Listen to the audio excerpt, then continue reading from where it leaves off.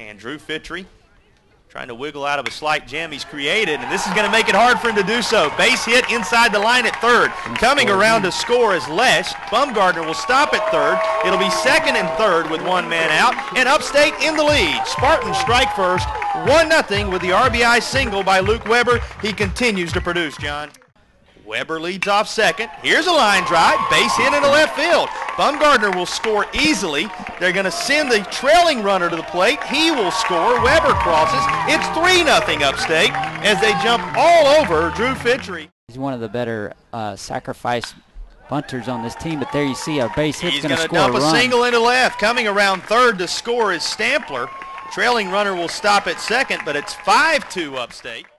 Long way to determining which direction this game heads, and he will bounce it over the head of the first baseman who leaps. Coming home to score is Lesh. Rounding third is Bumgardner. The throw will be cut off. Two more for upstate. It is a 7-2 game. Score for Upstate.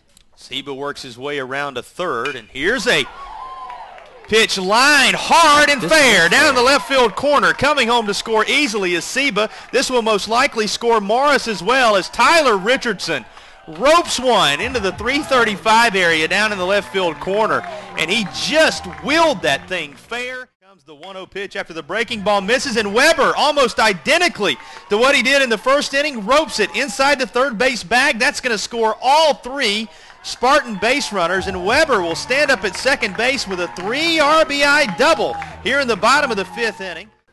He's trying to find a way to add another run to that total, and here's one hit high into the gap toward the wall, That's over the backing up wall. off it as the center run. fielder Linder, and he will watch it sail out of here.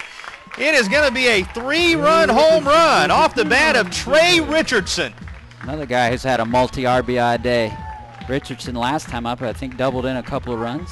Richardson driving it high and deep out of here. May have been aided just a bit by that wind, but he hit the ball very well. Got good wood on it. A guy that keeps, can Jumps on this one. Skies it into left. It's going to one-hop the fence.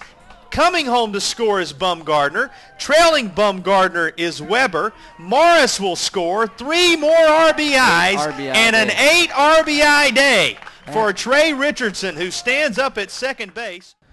So the Spartans pick up a record-breaking victory on opening day here at Harley Park, and two of the reasons standing by right now are Brandon Lee and Trey Richardson. Brandon, you go six innings, you strike out seven. A performance like that's what you're going to want night in and night out, especially when you hit conference play. Yeah, it's, it was a good start for me. had a shaky uh, second inning, but uh, it was a good start. Good start for our team, and uh, should carry into tomorrow against Kentucky. What does it feel like when you get that kind of run production? You're not going to get that every time, but you know when you over 20 runs are put up behind you, that's got to calm you down just a bit. Yeah, it's it's a great feeling to have. Uh, you get kind of tired and kind of bored sitting in the dugout, but when you get all, all those runs, it uh, frees you up when you're out there on the mound. You get to throw what you want. Speaking of run production, you just want to drive them all in yourself, Trey. Eight RBIs, eight RBIs on the day, including a three-run home run way out of here to left center field. You must have been seeing the ball pretty well tonight. Yeah, it was. I felt good. Uh, you know, we've worked hard this whole year, and uh, you know, I think we deserve a win like that to start off the season. Trey, does this speak to the kind of powerful explosion this team can have night in and night out throughout the season? I really do think it does. You know, uh, like I said, we work hard. Uh, we get up early every day. Those weightliftings, they're hard, and uh, you know, we're good. So Kentucky tomorrow. You turn some heads tonight, putting up so many runs. You can really make a statement if you play with one of the top teams in the country. What's your mindset going into tomorrow's game? win. That's what I want to do. I want to win, and I think we can do that. So we'll see tomorrow. If you haven't figured it out already, this is an explosive and exciting upstate Spartan, baseball team, and you'll want to come out and see them the remainder of this weekend. Kentucky tomorrow, Georgetown on Sunday, and a memorable season ahead. Spartans 1 0 on the young season after picking up a big victory against Niagara in the first game of the year. Coach, you got to be real pleased with the performance of all your club, top to bottom. Yeah, I am. Uh, Brandon threw well, you know, he and he just got us into the game, which is what you always ask out of your starter. And then, uh, you know, the offense performed. You know, obviously we hit the ball, but you know we were also able to draw some walks. We took some hit by pitches, so there, there was a lot of offense tonight. And you know, hopefully that's a good sign and a sign of things to come this spring. Your hitters were very patient early when the game was in doubt. You got to be pleased with the way they approached their bats. Yeah, I was. I would say early there were only a couple of at bats that I had issues with with regard to our approach. Um, but other than that, yeah, real pleased with how they did, and, and hopefully they can continue to do that. Made a statement with the amount of runs you scored. What did folks learn about this team tonight that maybe they didn't know coming in?